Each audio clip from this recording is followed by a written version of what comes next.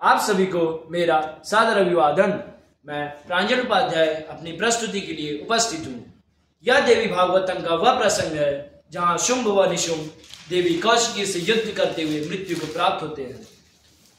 भैया निशुंभ निशुंभ, हम तुम्हें उस कालिका के साथ युद्ध करने अकेले नहीं जाने देंगे। हम भी तुम्हारे साथ चलेंगे, क्योंकि उस सुंदरी कौशिकी के साथ भयानक चमत्कारी चामुंडा कालिका है। इसीलिए हम भी तुम्हारे साथ चलेंगे। उसी के कारण हमने अपने कई सूरवीरों को खो दिया है। हाँ इस, इसीलिए हम तुम्हें युद्ध में अकेले नहीं जाने देंगे। शुंभ ये भगवान शिव शंकर है। दैत्य गुरु शुक्राचार्य की आराधना करते हैं। भगवान शिव शंकर की जय हो। हे भगवान शिव शंकर कौशिकी के अभिमान को हम स्वर्ग ले जाएँगे और वह स्वर्ग की साम्राज्य बनेगी। भैया शिव तो कह रहे थे कि ये दैत्यों के शुभचिंतक है, परंतु मुझे इनकी बातों पर विश्वास नहीं होता। हमें इनके बहकावे में नहीं आना चाहिए और कौशिकी को पूर्ण साम्राज्य बनाने का अभियान पूर्ण करना चाहिए। हे सौंदर्य में हे रूप हे सुंदरी, हम तो तुम्हारे सौंदर्य के सम्मोह से यह भूल गए कि हम यहाँ युद्ध करने आए हैं। इससे पूर्ण विधाता ने तुम जैसी सुंदरी का निर्माण किया ही नहीं होगा। यदि तुम्हें बनाकर देवता अपने चित्रकला पर गर्व करे तो उसके गर्व को भला कौन खंडित कर सकता है? युद्ध! भला तुम जैसी सुंदरी से हम युद्ध करें? ना ना ना ना। तुम जैसी सुंदरी से युद्ध करके अपने पौरुष का अपमान कौन करना चाहेगा?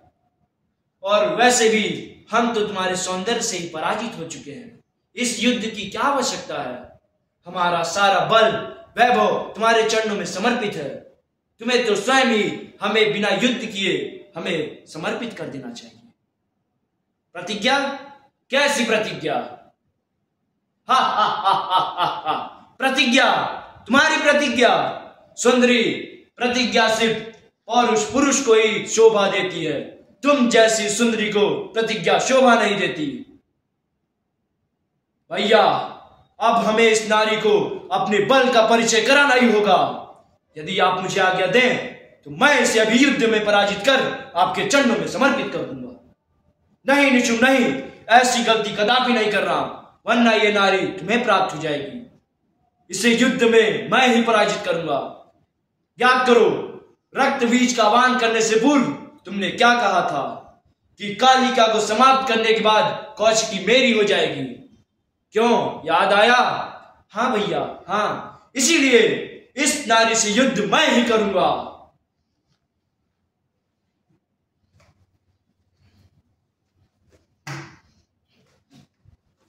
भैया, नहीं निशुम नहीं।